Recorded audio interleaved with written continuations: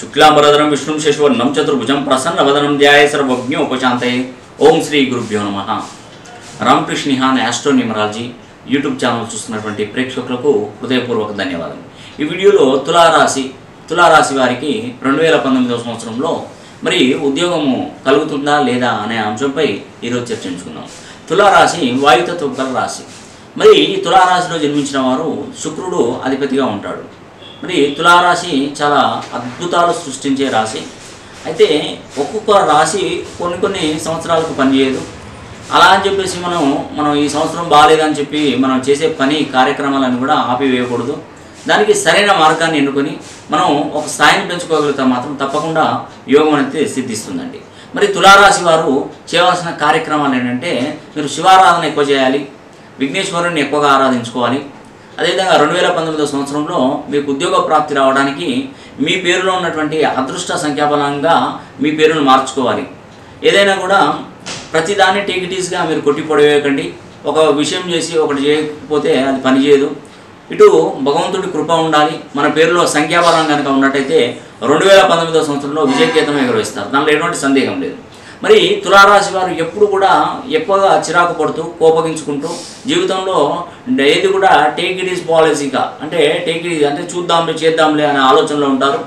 ఏదైనా కూడా సాధించాలని ఒక పట్టుదల ఉన్నప్పటికీ అది ఏది కూడా మన చేతి దాకా వచ్చేసి మిస్ అవుతూ ఉంటుంది.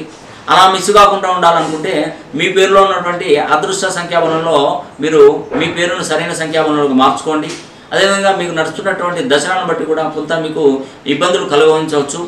అలాంటి దశల నుండి కూడా ఇవి ఒక తేలికైన మార్గమే మనకు న్యూమరాలజీ. అదేవిధంగా ఈ యొక్క సంఖ్యాశాస్త్ర పరంగా అయితే ఈ సంఖ్యాశాస్త్రం అనేది కూడా నేను ఒకటే చెప్తున్నానండి. మీరు ఏది తలపెట్టినా కూడా ఆ పనికి విజయాన్ని చేకూర్చడంలో ఈ యొక్క సంఖ్యాబలం అనేది కూడా ఎంతో గొప్పగా పనిచేస్తుందండి.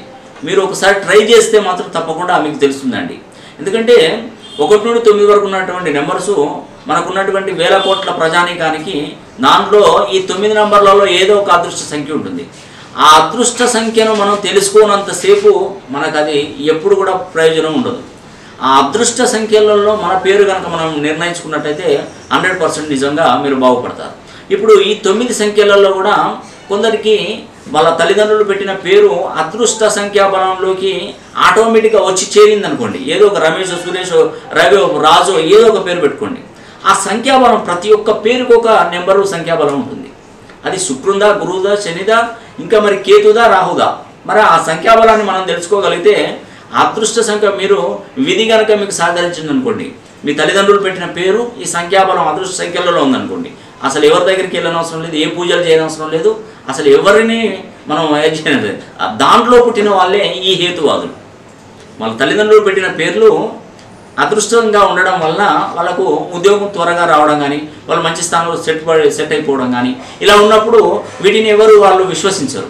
విశ్వసించరు కాబట్టి ఈ శాస్త్రం తప్పని చెప్పగలుగుతారు.